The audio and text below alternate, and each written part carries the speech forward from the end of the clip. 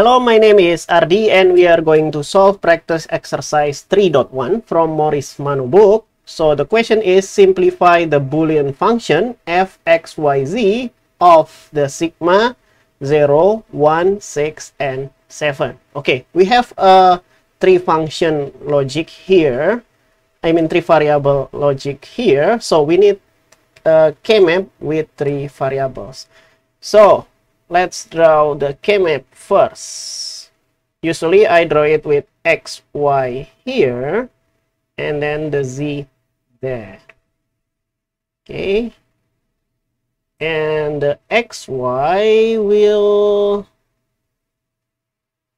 use 0, 0, 0, 1, and then 1, 1, and then 1, 0 and for z we will have 0 and okay now let's let's fill out the sigma here. The index of 0 1 6 and 7 will be 1 in this K-map okay now let's exactly do that.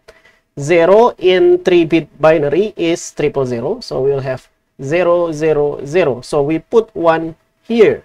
This is for this one and then for 1, we have 0, 0, 1 as the binary representation of 1. So 0, 0, 1 is 1 here. That is for the 1.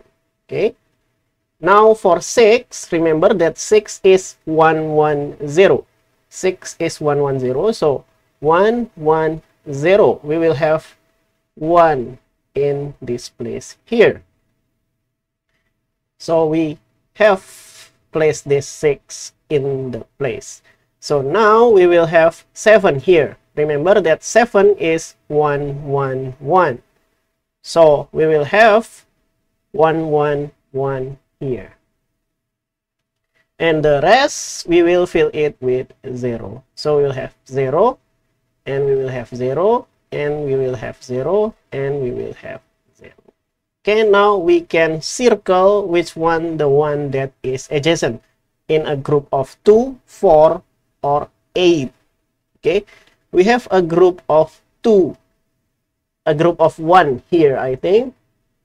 Yeah, I have this group of 1 here. Okay. And we also have a group of 1 here. Okay, let's see the first circle here that I highlight with yellow. This one. Okay.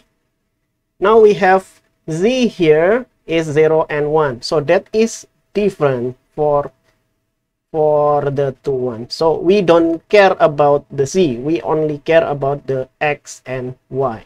And if we see here, our x and y here is 0 and 0. So we will have the first function here because that is 0 and 0 meaning that we have x naught and y naught. Okay? And now let's see the second circle which I will color it here in green. Okay? Now let's see we have a different z here 0 and 1 so again we don't care about the z we only care about the x and y.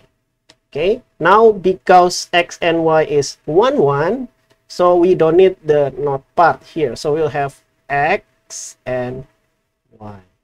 Okay, and that is the Boolean function that we are looking for. And I think I did not make any mistakes. Yeah, this is just the order the book given the the green part first and then the yellow part first but addition is commutative so this is not a problem and I think that's all for practice exercise 3.1 from Morris and Manu book. Let me know if you have any question and see you in the next video. Bye bye.